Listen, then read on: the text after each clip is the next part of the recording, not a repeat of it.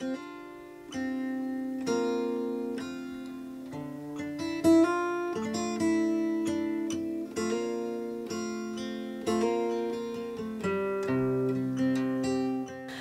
I'm uh, recording a song that Justin Timberlake and his friend Matt wrote for me. the only promise that remains. Um, we couldn't think of a longer song title, so we went with that one. And it's a beautiful Celtic love song, and here we are, St. Patrick's Day, March 17th, 2007, my mom and daddy's anniversary, and my sister Alice's anniversary. So it's a, a very sweet love song that they wrote for me, and how this all came about.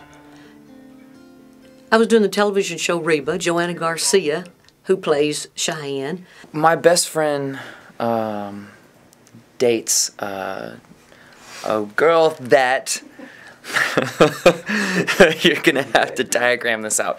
My best friend dates a girl that is on the show with Reba, and uh, Joanna Garcia, and she's also a good friend of mine as well. And she approached me and said, you know, Reba's doing another album, and I immediately said, well, man, that'd be amazing and totally unexpected if somebody like myself could work with somebody like that. Joanne looked around and said, well, you ought to get Justin Timberlake to do the duet project with you. And I said, yeah, right, like he'd do that. She said, oh, he's a big fan.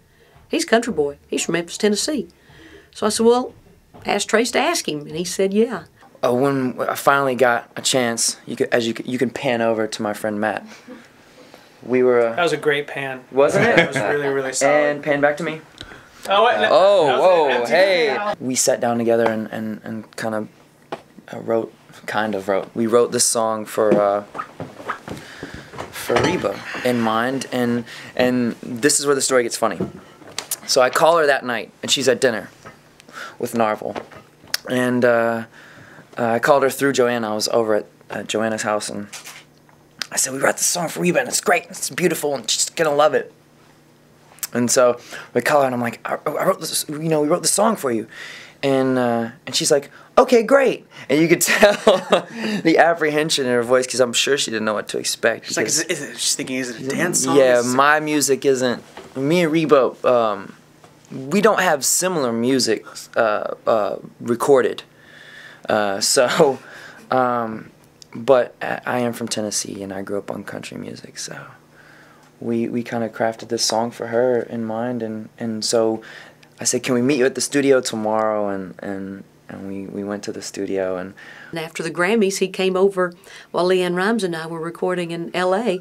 and he played me the song. Matt sang it, and, and uh, I fell in love with it.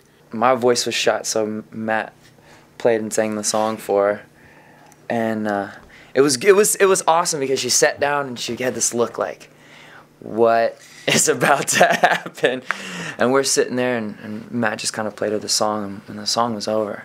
She just she sat there for a minute. There was like a moment of silence where everybody, and it was just kind of like. You saw her. She's listening to the song, and her eyes would get a little bigger. Like Yeah. it started playing, and there was this apprehension in her face. But then her expression got like her smile got a little bigger, and her eyes got a little bigger. Yeah. So And uh, turns out she liked it. turns out, she thought that it didn't suck. And today, here we are in Nashville recording it because Justin just got through playing the arena here in Nashville last night. Went to the show, it was wonderful. And we're here at Starstruck Studios recording it today. You put amazing players in a room together, and amazing things happen. So. It's true. And she sounds beautiful she's already. amazing. So she's about to record some some vocals. When you're down